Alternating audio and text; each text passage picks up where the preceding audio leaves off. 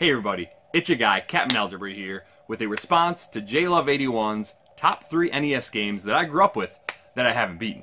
Check them out after the break.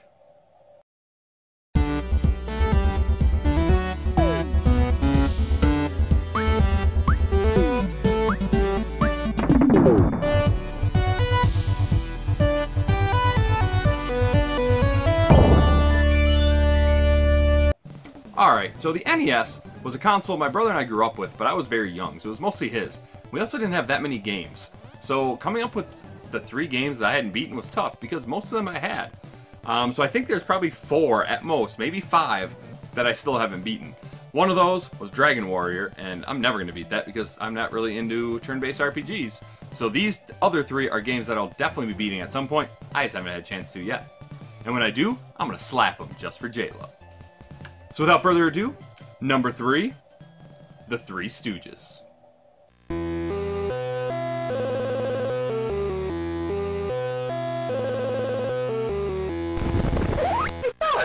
in the wrong game. Hey, this looks like a kid's game. You imbeciles. Growing up, we always watched reruns of The Three Stooges because it was one of my dad's favorite shows. I was really young at the time, so I really didn't find them too funny, but I did enjoy the time I spent watching them with him and my brother. This is a pretty simple game, consisting of minigames where you try and raise money to save the orphanage. Each minigame is based off various films in the franchise. You get to help a doctor make his way to the operating table while avoiding patients and collecting supplies.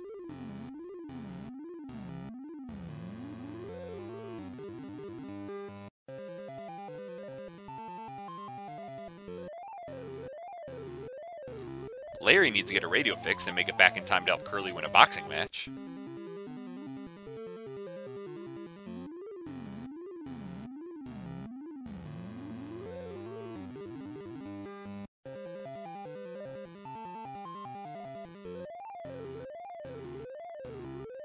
You get to throw pies at all the stuck up people at the appropriately named Hoity Toity Club.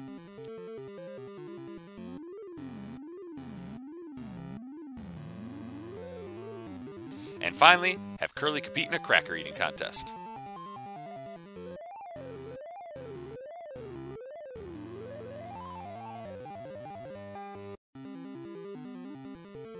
I always struggled with the radio minigame as a kid, and I really wasn't sure what the controls were for the pie throwing game. But what really made this game hard was the hand that selected the minigame moved faster and faster each round, which caused me to land on the mouse traps and lose lives. You can slow it down, but I almost never landed on those spots.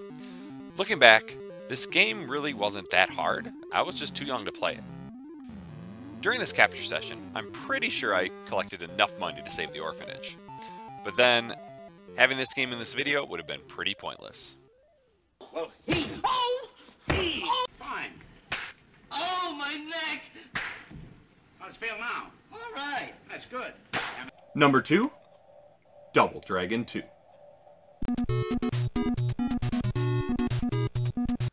My brother and I had the first two games in the series, but I always preferred this one. The gameplay seemed more fluid to me and the sprites looked better. And like most people, the two-player action really gave this a leg up on Double Dragon. I always had fun playing next to my brother and trying to be as good as he was. Now looking back, he really wasn't that good, so I must have really sucked. I absolutely loved the music and enjoyed beating the crap out of enemies. I really never got too far as a kid since I had no idea how to do the special moves. The Hyper Knee is especially effective, even though I can only do it about 50% of the time. Nowadays, I can almost beat it, but the platforming in the later levels always gets me. I also hate the fact that the kick and punch button change depending on which direction you're facing. I'm not really sure of the point of that, but it's pretty annoying even after getting used to it after all these years. Last year, I beat Double Dragon for the weekly retro challenge for the first time, so it was only a matter of time until I knocked this one off my list with the hyper knee to the face. And number one, the one that bothers me the most, because I have to beat this sometime soon Star Wars.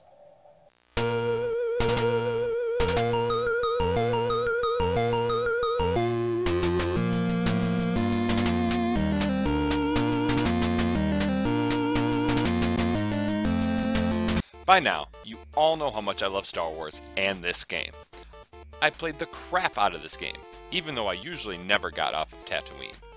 I just loved exploring the desert and going in all the caves and the sandcrawler. it probably would have helped if I knew where to find the lightsaber in the caves, as that does a ton of damage, and that just cuts through the enemies like a hot knife through butter.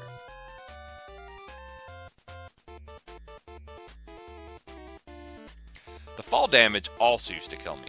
If you fall from a height that's pretty much higher than you are tall, you are taking damage, and taking a lot of it.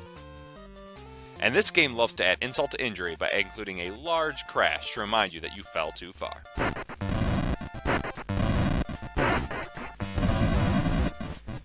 Even though you get 10 continues, I always gave up after only using a couple.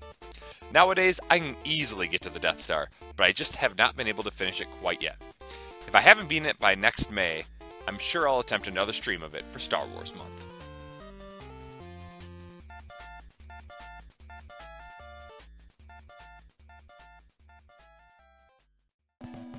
So there you go. Those are the top three NES games that I grew up with that I still haven't beaten. Hopefully I'll get to them soon. I should be able to beat them pretty easy, especially Three Stooges. That game I was just bad at as a kid. Now, I think I could handle it pretty quickly. So if you want to make your own response video, definitely do that. Just let me know so I can check it out. If you don't want to make a video, go ahead and just post in the comments below the top three NES games that you haven't beaten that you grew up with. So thanks for watching, and until next time, this is Captain Algebra, signing off.